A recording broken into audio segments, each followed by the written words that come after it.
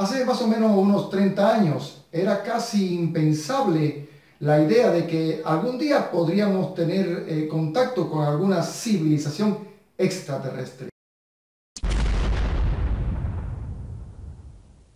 Hola mi gente linda de YouTube, ¿cómo están ustedes? Aquí estamos nuevamente de vuelta con ustedes.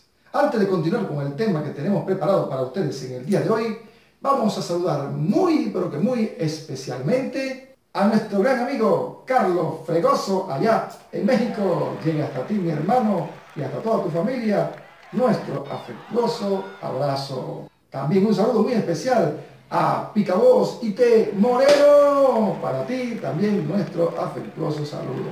Hace más o menos uno o dos días, una suscriptora nos ha pedido que en el próximo video le demos un saludo. Y yo muy especialmente prometí saludarte. Y estoy hablando de nuestra amiga Gladys Sofía Enrique Mejía. Gladys, he cumplido la promesa que te hice. Pero antes de continuar, permítanme tomarme una rica tacita de café que han preparado por acá, muy rico. Bueno, ahora sí vamos a continuar. Que hace tan solo uno, un día o dos se ha recibido una señal extraterrestre proveniente de una galaxia muy pero que muy lejana. Y ya en esta actualidad no es tan descabellada la idea de que podamos tener en cualquier momento contacto con alguna civilización extraterrestre. Y es que cada día se están viendo más y más noticias referente a este tema. Quédate con nosotros para que veas el programa que hemos preparado para ti y para el disfrute de toda, toda tu familia.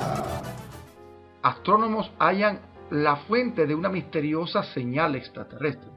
Y es que un equipo de científicos llegó a la conclusión de que las misteriosas ráfagas de radio de breve duración procedentes de la constelación Auriga tiene su fuente en una galaxia situada a cientos de millones de años luz de la Tierra, según un artículo publicado en la revista Nature. Esto fue lo que informó el astrónomo Eino Felk de la Universidad de Nijmegen, Países Bajos.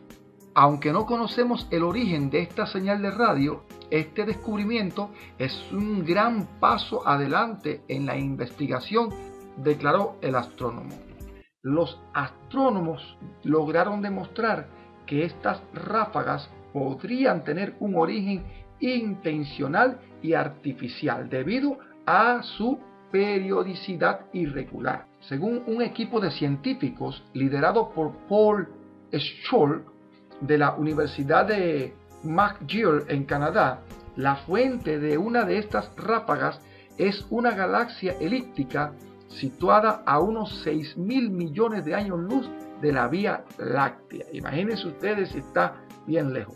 Así que llegaron a la conclusión de que en este caso las señales de radio pueden deberse a una fusión de dos estrellas de neutrones. Sin embargo, posteriormente se dieron cuenta de que las señales se repetían, algo que ha puesto en duda entonces su teoría. Durante las observaciones astronómicas posteriores, los investigadores lograron captar nueve ráfagas de este tipo que provenían de una sola fuente ubicada en la constelación Auriga. Según los astrónomos, se trata de una galaxia enana situada a unos 140.000 años luz de la Tierra.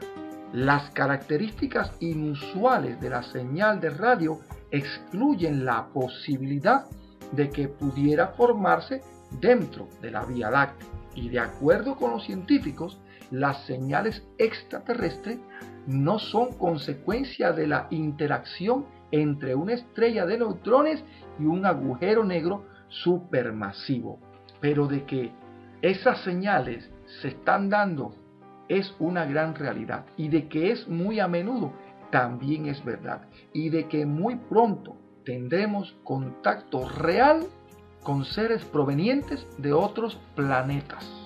¿Qué crees al respecto de este tema? De verdad, de verdad, muchísimas gracias por tus comentarios. Son muy, pero que muy valiosísimos en este canal. Nosotros, todos sus comentarios, día a día los estamos mirando Y queremos agradecerle también por las sugerencias, por las críticas, pero que sean críticas constructivas, por favor, no ofensivas. Siempre serán bienvenidas en este canal. Gracias por suscribirte aquí debajo. Gracias por compartir estos videos. Siempre tu amigo del cotorro